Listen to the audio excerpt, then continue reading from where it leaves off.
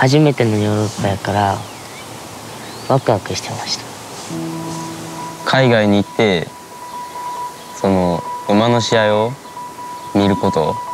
日本でも YouTube とかでヨーロッパの動画は見れるけど、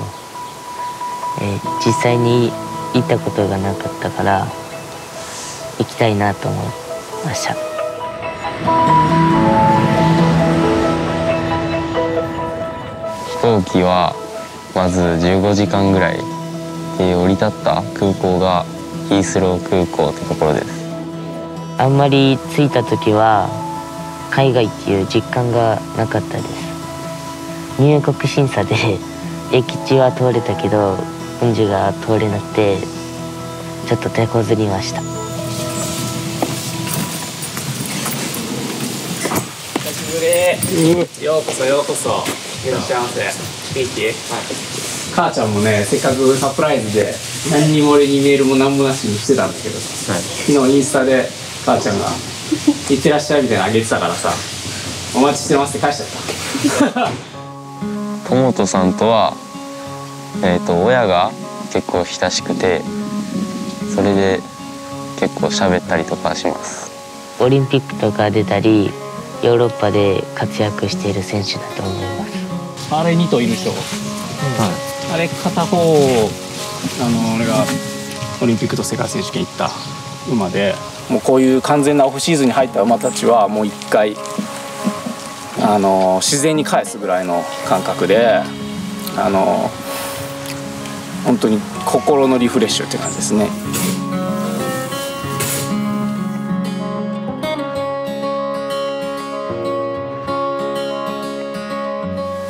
一馬棒一馬棒が大きかったです厩舎にグルームがいることです見てて馬を第一優先に考えてるなと思いました Hello, I'm Eikichi Otani、uh, I'm competing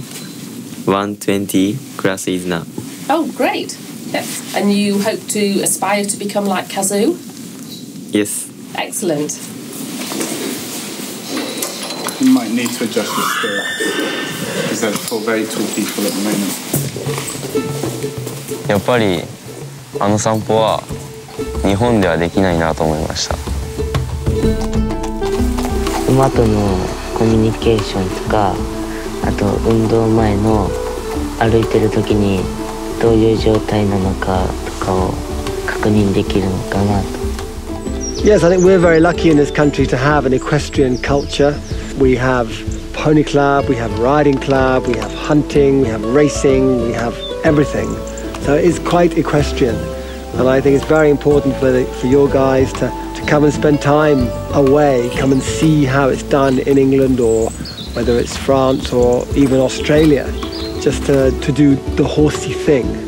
and to learn about all things horse. I think it's very, very good to have that horse knowledge. Not just it's not just about riding and being perfect. It's actually about feel, about development, about reaction. It's about having um, the ability to to really understand your horse. It's not like a tennis racket or a football. It's a horse. 速いスピードもゆっくりなスピードも自分がコントロールしてる自分が馬に指示を出してるっていう状態が大事だからね 友人さんに教えてもらったことは障害から障害の間で歩数を詰めたり馬を伸ばしたりっていう練習をしました。文治はやっぱりまだ6歩で行かなきゃということにとらわれて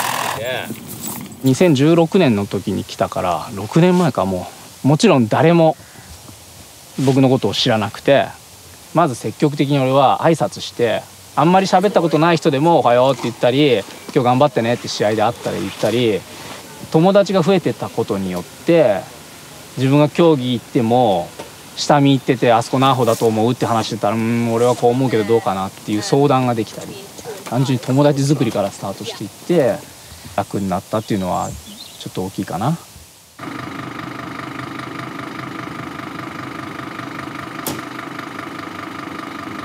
中おいでじゃあいらっしゃい。お邪魔します。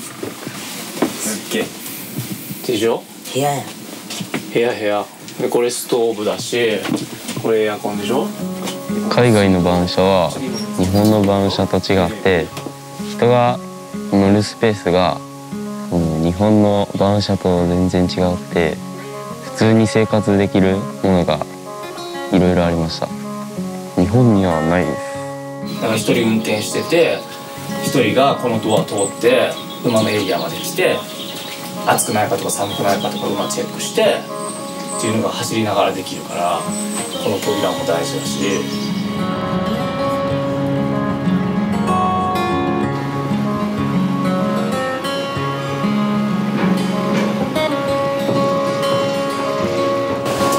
からフェリーに乗ってフランスに行きます。イギリスからフランスまで6時間ぐらいフェリーに乗りました。長かったです。吐きそうでした。ずっと酔ってました。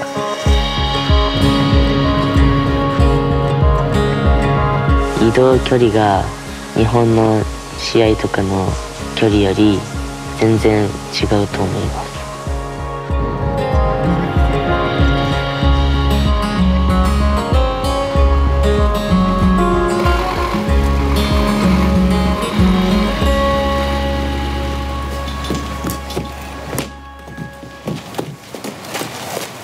Is it still round there, the wheelbarrow? I think so still Yeah, there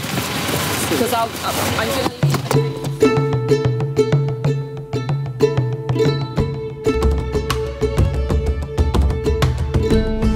海外の会場は人も多いけど出場する馬とか選手とかも人数が全然違くて試合会場の広さと店がすごい出てたから全然違うなと思ってました。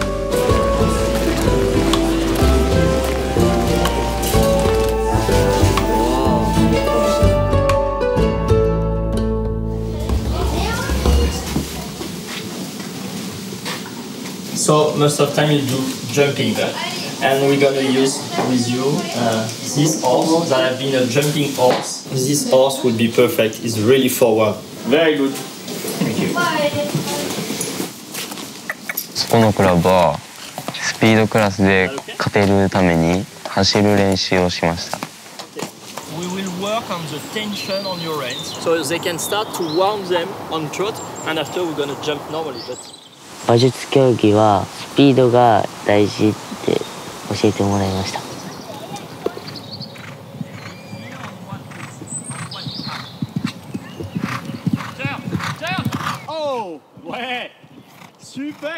Plutôt que d'essayer de se faire comprendre par le cheval, toujours essayer de comprendre le cheval. Se dire que le cheval a toujours plein de bonnes raisons de bien faire et que s'il le fait pas, c'est qu'il y a quelque chose qu'on n'a pas compris. Total, alors que nous accueillons le premier des deux concurrents japonais engagés. Il s'agit de Kazuma Tomoto avec Brook Vikenti.「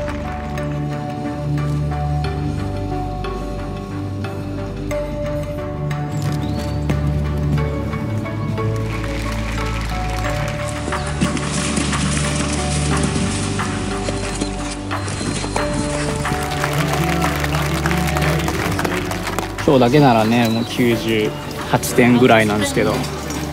明日もあるスポーツなんでねただ怪我がちょっと怪我が心配。です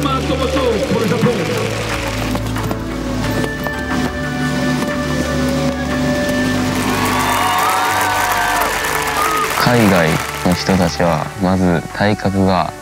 日本人と全然違くて筋力もめっちゃあってやっぱ力あった方が強い馬とかでも対応できるから力つけたいなと思います自分も海外みたいな会場でコースを回ったりとか試合に出てみたいなと思いました。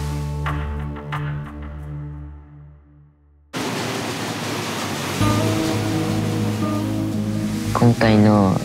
海外馬術を体験してみて教えてくれる人とかいろんな人が優しくていろいろ勉強になりました。海外の人たちはとても馬に気遣いをしてるなと思います。Hello, えー、I'm 英吉海外で一番大変だったことはやっぱまず英語を覚えて人とのコミュニケーションを取れるように頑張りたいです僕はジョッキーになりたいと思うのでジョッキーになってからフランスの凱旋門賞とか出れるように海外に向かって挑戦してみたいなと思います。将来海外でいつか挑戦できるように日本で頑張りたいと思います。いつも僕が教えてるものでやっぱり親子とその甘えっていうのがあるっていうのを感じてたので違う環境で同じこと言われても全然受け止め方が違うと思うので正しく受け止めてほしいなっていうのをそういう思いがあって。選手だけじゃなく、まあ、いろんなサポートしてくださってる方たちもいますのでどれだけサポートしてくれたか一人じゃないんだっていうところをそれを感じれたのもすごいいいことだったなって思っていて。海外の方って。自分のやりたいことをどんどん主張しないと誰も気遣ってくれないというかで逆にあの自分のやりたいことを言えばああそうだったのじゃあやろうよやろうよみたいな感じで受け入れてくれるっていうのはあるので自分のやりたいことをどんどん主張して自信持って乗っていってほしいですね。